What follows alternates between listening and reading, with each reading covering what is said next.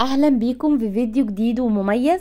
طبعا كالعادة هنشوف من خلال الفيديو ده مجموعة حديثة من الأدوات المنزلية والأفكار والحيل والمنظمات والاختراعات اللي هتساعدنا على ترتيب وتنظيم البيت والمطبخ. واللي بتوفر علينا في الوقت والجهد وكمان بتساعدنا على استغلال المساحات الصغيرة سواء في التلاجة أو في المطبخ أو في البيت عموما. وطبعا في نهاية الفيديو ده كالعادة هقولك على الطرق اللي هتقدري من خلالها تجيبي كل الأدوات اللي انت محتاجاها. ولو لسه ما اشتركتيش في قناتي أتمنى إنك تدعميني وتعملي اشتراك للقناة وياريت كمان تفعلي جرس الإشعارات للكل عشان يوصلك إشعار بكل فيديو جديد ويومي بينزل على القناة إن شاء الله. ويلا بينا بقى دلوقتي نبتدي الفيديو بتاعنا مع بعض ونشوف ونتعرف على الأدوات اللي هتتعرض معانا في الفيديو ده وإزاي نقدر إن إحنا نستخدمها ونستفيد منها. بعد كده تعالي نشوف مع بعض عندنا مجموعة من منظمات البكاليات وهي بتيجي بأحجام مختلفة تقدري إن انتي تنظمي بيها الرز أو السكر أو الدقيق أو مختلف أنواع المكرونات أو تقدري تنظمي بيها المكسرات أو طبعا مختلف أنواع الأطعمة اللي انت بتفضليها تقدري إن انت تنظميها في المنظمات دي وطبعا تقدري إن انت تستخدمي المنظمات دي في التلاجة أو بره التلاجة. بعد كده تعالي نشوف مع بعض عندنا القطاعة اللي تقدري إن انت تثبتيها على الرخامة وتقطعي عليها كل الخضار أو كل اللحوم أو السلطة أو أي حاجة انت عاوزاها. ودلوقتي هنشوف مع بعض عندنا الجهاز اللي تقدري إن انتي تعملي من خلاله عيش الكريب في البيت بطريقة سهلة وبسيطة جدا زي ما انت شايفة كده معايا من خلال الفيديو.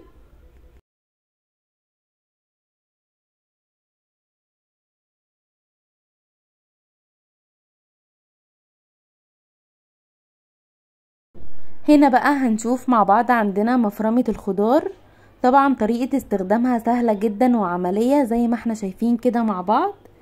الأداة دي بيجي معاها كذا شكل من أشكال التقطيع. تقدري إن انت تقطعي من خلالها مختلف أنواع الخضار بأشكال كتير قوي.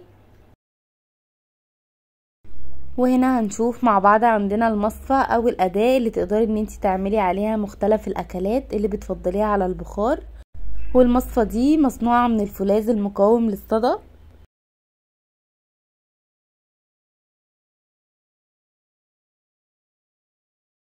بعد كده هنا هنشوف مع بعض عندنا البلانشا أو القطاعة اللي تقدري إن انتي تقطعي عليها الخضار أو الفاكهة أو تقدري إن انتي تقطعي عليها الفراخ واللحمة وتعملي عليها مختلف أنواع السلطات بكل سهولة.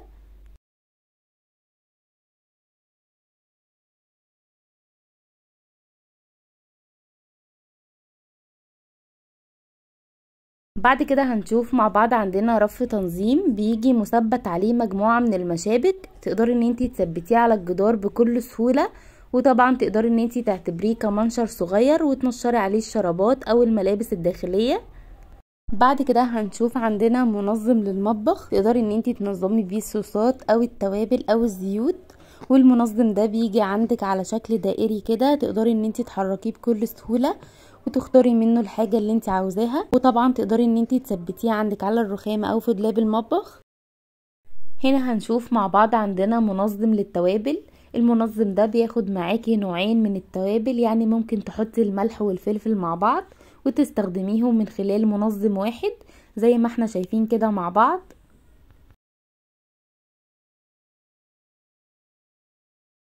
دلوقتي هنشوف عندنا منظم بيكون ليه كذا استخدام تقدري ان انت تثبتيه عندك في الدولاب وتنظمي بيه الشرابات أو الملابس الداخلية أو تقدري ان انت تثبتيه في المطبخ وتنظمي بيه مختلف الأكياس اللي بتكون عندك واستخدامه سهل جدا وعملي.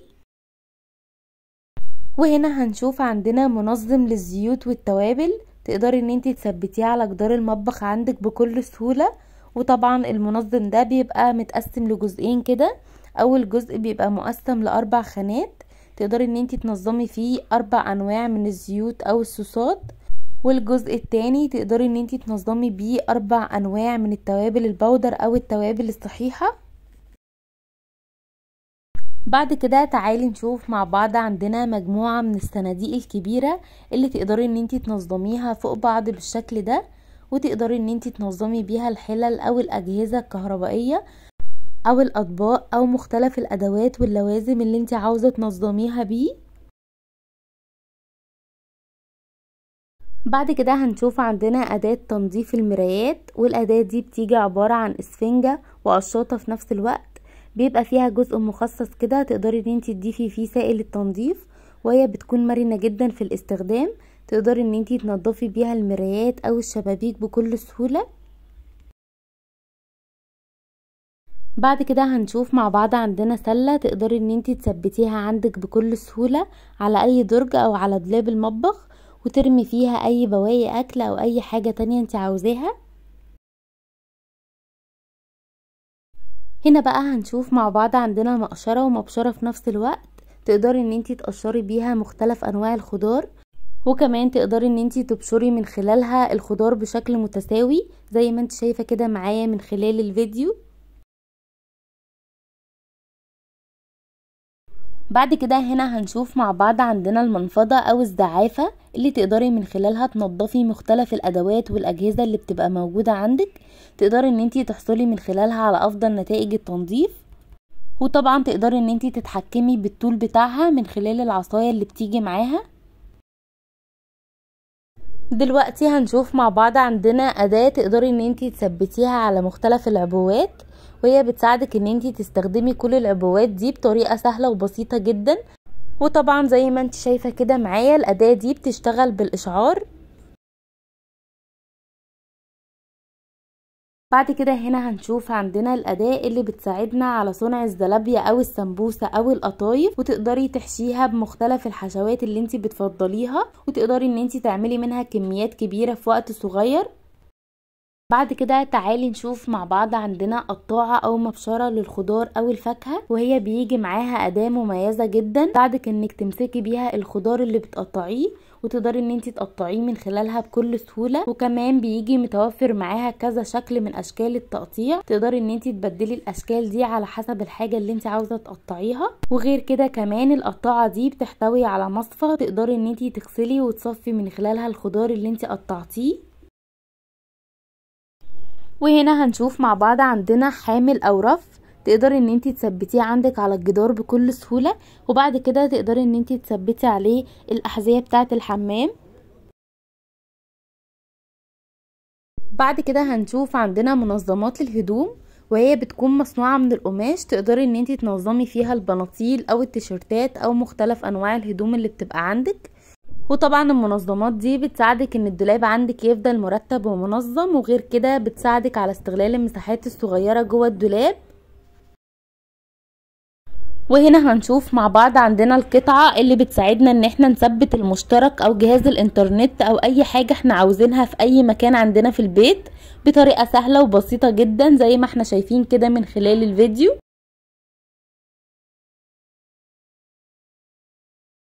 بعد كده معانا منظم الأحذية. طبعا المنظم ده بيجي عبارة عن كذا رف كده تقدري إن انت تنظمي بيه مختلف الأحذية بطريقة مرتبة جدا وده هيساعدك إن انت تتخلصي من كركبة الأحذية اللي بتبقى موجودة عندك.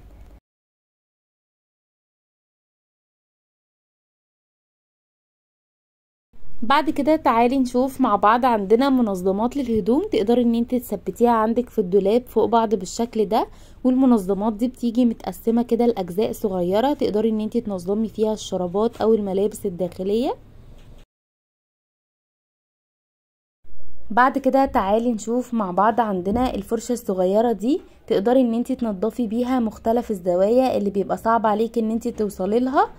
فتقدري من خلال الفرشة دي تنضفي مختلف الزوايا اللي بتبقى موجودة عندك بكل سهولة زي ما ظاهر كده قدامك دلوقتي من خلال الفيديو.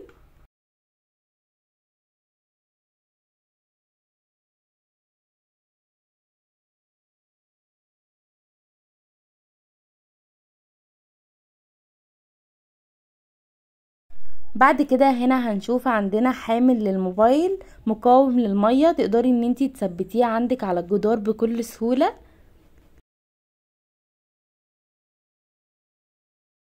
وهنا معانا الفرشة اللي بيجي فيها جزء مخصص تقدري ان انتي تضيفي فيه الصابون السائل وبعد كده تقدري ان انتي تنضفي بيها المواعين. وغير كده تصميمها عملي جدا ومش هتجرح ايديكي وانتي بتنضفي بيها المواعين. وبيجي معاها حامل تقدري ان انتي تنظميها عليه. بعد كده هنشوف عندنا قطاعة البطيخ اللي بتيجي عبارة عن سكين وشوكة في نفس الوقت وطريقة استخدامها بتكون سهلة جدا. ودلوقتي إحنا شفنا مع بعض مجموعة متميزة جدا من المنتجات والأدوات الحديثة والأجهزة المنزلية الذكية اللي بتساعدنا على ترتيب وتنظيم البيت والمطبخ وغير كده كمان بتساعدنا على استغلال المساحات الصغيرة زي التلاجة أو في المطبخ أو في البيت عموما وكمان بتوفر علينا في الوقت والجهد. وهي في الحقيقة أدوات عملية جدا وغير مكلفة وبسيطة وبتسهل علينا الحياة اليومية وشغلك في البيت. وكمان وضحنا إزاي نقدر نستخدم الأدوات دي وإزاي نقدر إن إحنا نستفيد منها بكذا طريقة مختلفة. كملي الفيديو معايا لنهايته عشان تشوفي معايا باقي الأدوات اللي هتتعرض في الفيديو ده وتقدري إن انتي تعرفي إيه هي الحاجة اللي انتي محتاجاها لبيتك ولمطبخك وهقولك دلوقتي إزاي تقدري تحصلي على المنتجات والأدوات اللي شفتيها معايا في الفيديو ده بكل سهولة بطريقة سهلة جدا وبسيطة.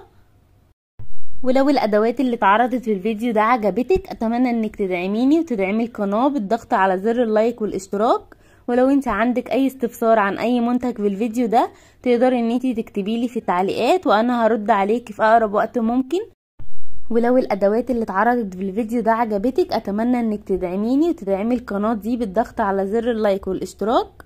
ولو انت عندك اي استفسار عن اي منتج في الفيديو ده تقدري ان انت تكتبي لي في خانة التعليقات وأنا هرد عليكي في اقرب وقت ممكن. ولو عايزة تشوفي أدوات منزلية جديدة وأفكار تانية كتير ما تنسيش تدوسي اشتراك وتفعلي جرس الإشعارات للكل عشان يوصلك إشعار بكل فيديو جديد ويومي بينزل على القناة إن شاء الله.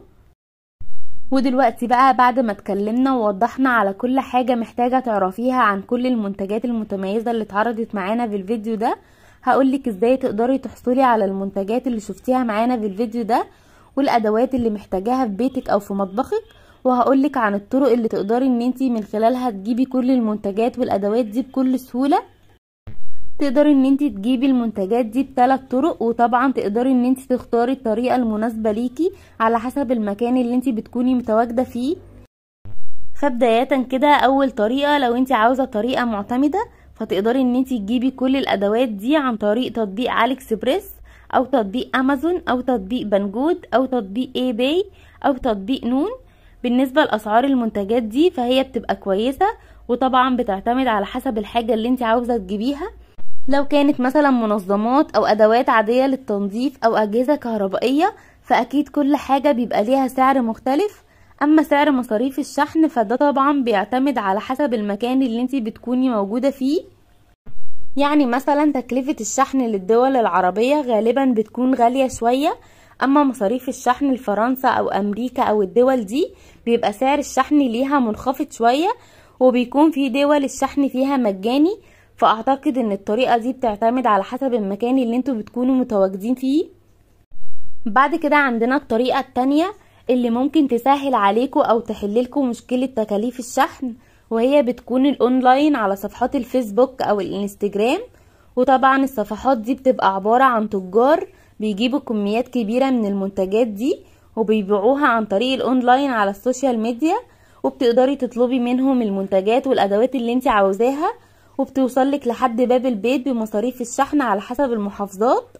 وطبعا مصاريف الشحن بتاعتهم بتبقى منخفضة وحلوة جدا مش زي مصاريف شحن التطبيقات اللي قلتلكوا عليها. وعاوزة أقولك إن طريقة البحث على الصفحات دي بتكون سهلة جدا. بتكتبي في خانة البحث في الفيسبوك أو الإنستجرام عن الأدوات المنزلية وبتقدري توصلي لها بكل سهولة.